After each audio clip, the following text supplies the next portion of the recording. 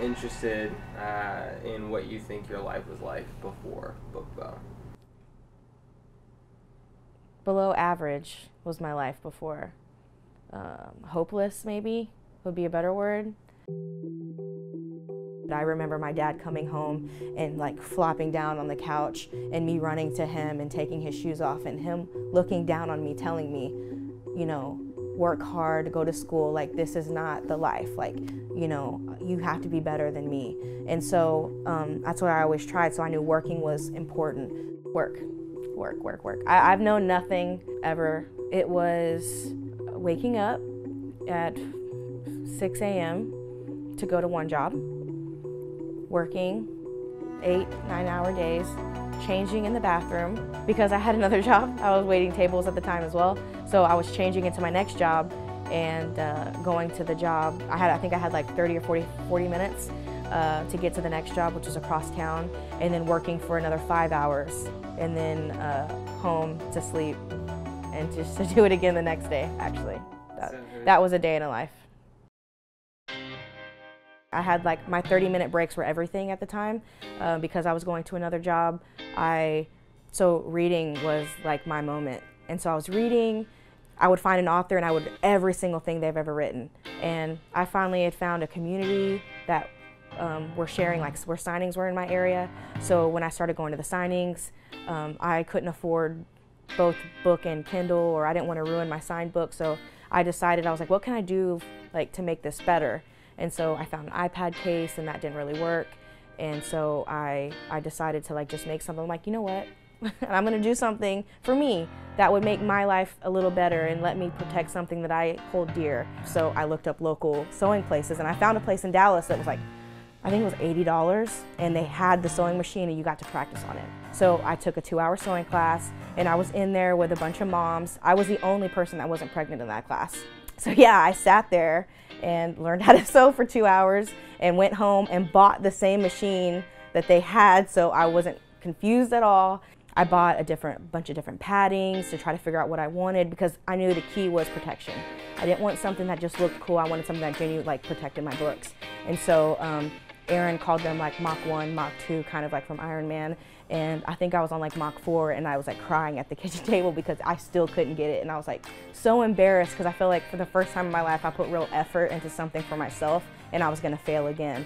So um, I went to sleep, watched another YouTube video, found someone that did something a little easier, and I was like, I think I've got it. So I posted it on Instagram, my personal Instagram, and I was just like, I did a thing, and I'm calling it a book Like, I just was like, that's what it is. And um, a few of my friends who I'm still friends with now and I've been lucky enough to meet were like, this is genius. And that was all I needed to hear.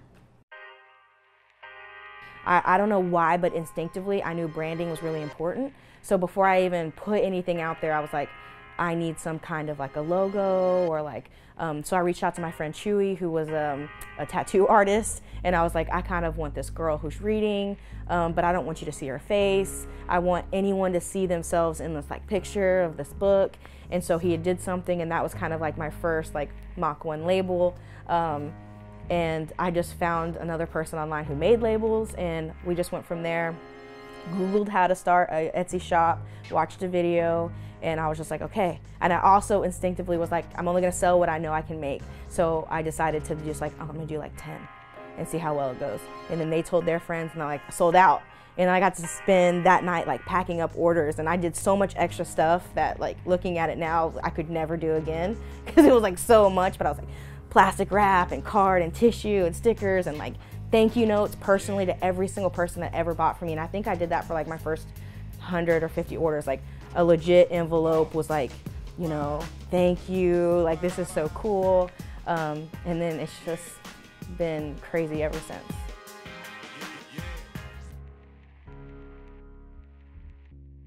What does Book Beau mean to you now? Um, everything really it, it means everything because it's something that i have built from the ground up and it's important because there are more than just me attached to it now, you know, and I'm so grateful.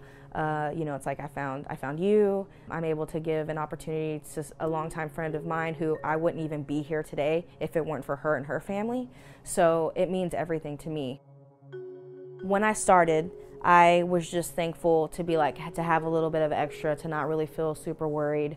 Um, and that was enough for me. Uh, now, what is our mission statement? It's been blank this entire time. Um, and until recently, um, I've been lucky enough to go and speak to children like me. So, first time I go, it was kind of like a one off thing, and I think it's kind of a lower income school, so I feel like sometimes they always have a lot of people that go in that's disinterested. They go because it's an obligation. So, you know, I go in and first few questions are kind of strange, uh, but the one thing was someone asked me to be their mom. And I know that sounds weird and sad, but I asked a question like that. And I didn't have a terrible mom, but I had a mom who struggled with a lot of stuff. And a mom who really wasn't there because she had to work multiple jobs. And I was watching my little brother. I wasn't outside playing, I was doing laundry, I was making dinner. I was comforting him when he was crying because mom wasn't home. Like, I'm already actually getting emotional about that. Um, so when they asked me, I was like, okay, like, this is what I'm doing. Like, this is, I immediately called you and was like, um, this is, this is why we're doing it, like, right here.